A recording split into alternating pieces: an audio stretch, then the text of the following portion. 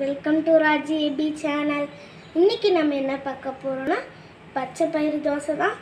வாங்க எப்படி செய்யறதுன்னு பார்க்கலாம். அதுக்கு முன்னாடி நம்ம பண்ண போகிற ரெசிபிக்கு தேவையான பொருள் பார்க்கலாம். நூறு பச்சை பயிரை ஊற வச்சு எடுத்து வச்சுருக்கேன். ஆறு பல் பூண்டு ஒரு சின்ன பீஸ் இஞ்சி கட் பண்ணி வச்சுருக்கேன். பத்து சின்ன வெங்காயம் கட் பண்ணி வச்சுருக்கேன். மூணு ஸ்பூன் பச்சரிசி ஊற வச்சு எடுத்து வச்சுருக்கேன்.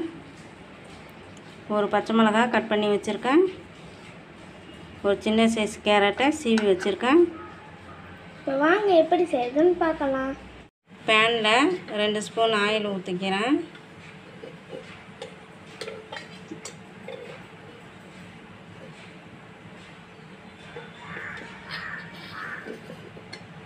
இஞ்சி பூண்டு சேர்த்துக்கிறேன்.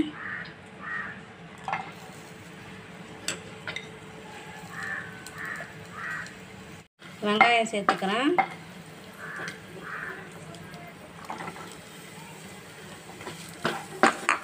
நல்லா செவர வறுத்துக்கணும்.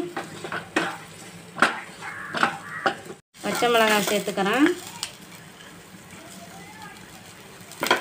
கேரட் சேர்த்துக்கிறேன். எல்லா பொருளும் நல்லா வதங்கிடுச்சு.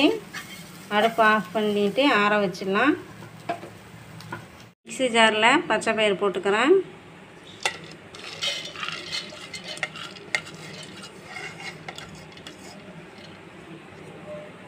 பச்சரிசி போ சேர்த்துக்கிறேன்.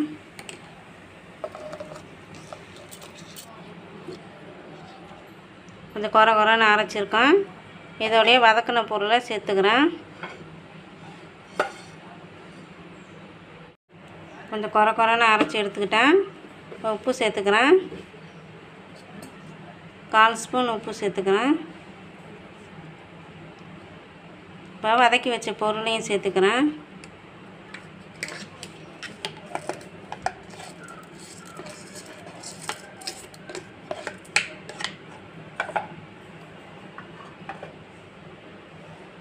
மறுபடியும் அரைச்சி எடுத்துக்கிறேன்.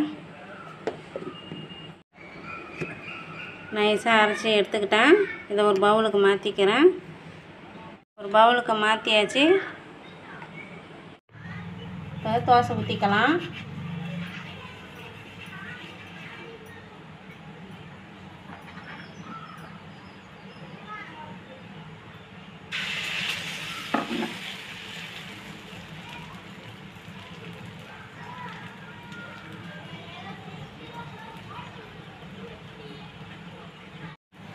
தோசை சுற்றி எண்ணெய் ஊற்றிக்கலாம் நல்லெண்ணெய் தான் ஊற்றுறேன் தாராளமே ஊற்றலாம்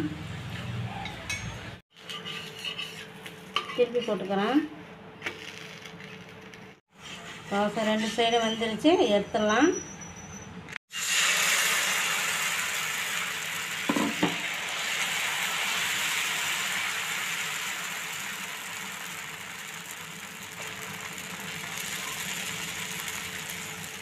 மாவு ஊற்ற ஊற்ற மாவு திக்காகிட்டே இருக்கும். கொஞ்சம் தண்ணி கலந்து ஊற்றிக்கோங்க இந்த தோசையை அடிக்கடி செஞ்சு கொடுங்க. ஹெல்த்தியானது உடம்புக்கு. தோசையை திருப்பி போட்டுக்கிறேன்.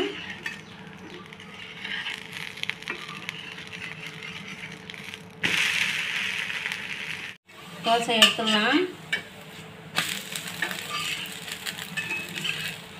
அவ்வளோதான் நம்மளோட பச்சை பயிறு தோசை ரெடி. நீங்களும் இதை வீட்டில் ஷேர் பண்ணி பார்த்துட்டு எப்படி இருக்குதுங்களை கமெண்ட் பண்ணுங்கள் சப்ஸ்கிரைப் பண்ணுங்கள் ஷேர் பண்ணுங்கள் தேங்க்யூ ஃபார் வாட்சிங் பாய்